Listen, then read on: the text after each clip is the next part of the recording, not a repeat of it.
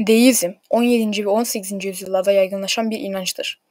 Deistler, Tanrı'nın varlığını kabul etseler de peygamberler, vahiy, melekler, kutsal kitaplar, mucizeler ve ahirete inanmazlar.